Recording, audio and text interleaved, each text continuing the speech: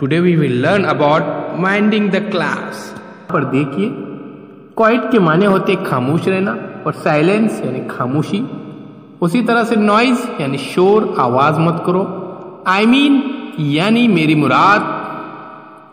Talking यानी बोलना बात करना और एट वंस यानी फ़ौरन झटपट।